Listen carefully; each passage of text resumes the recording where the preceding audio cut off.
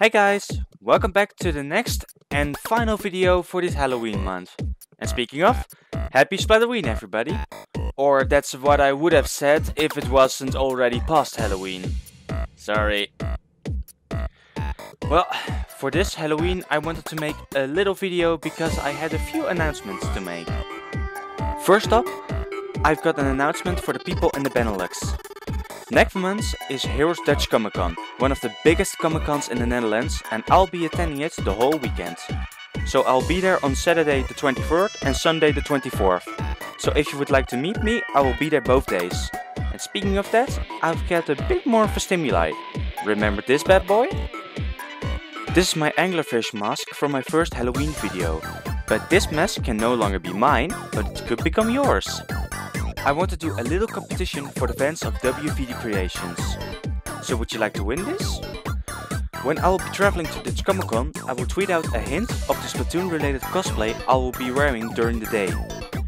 So the first one that recognizes me at Dutch Comic Con and is able to address me as Roboy or WVD Creations will be the Krea gear that will receive my anglerfish mask. This will count for both days, so if no one gets it on Saturday, people who will only be going on Sunday still have a chance. But I will not be wearing the same cosplay on both days. So if you want to find me on Sunday, then you will have to check Twitter again for the hint of that day. And if someone finds me on Saturday, I will tweet out the winner. And if you come on Sunday and you see me walking around, even if the competition is still over, just please come and say hi. I would love to meet as many of you as possible. And as the last of my announcements, I had planned to have a new video out of the next prop, but I've been working really hard on it, but I haven't been able to finish it on time. Don't worry, I will still have the video out, but it's probably going to be the one for November the 15th. But if you look at it, I still had two videos out this month.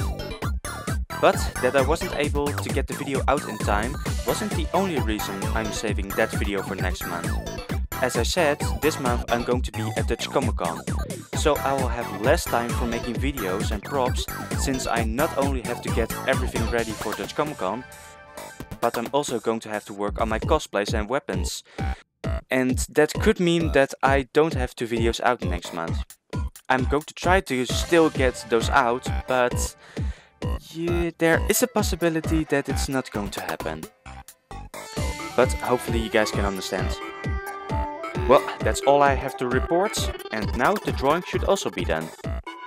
So hopefully you liked this little announcement video, and I hope to see you all in the next prop video. Keep those creative gears turning, see you in the next one!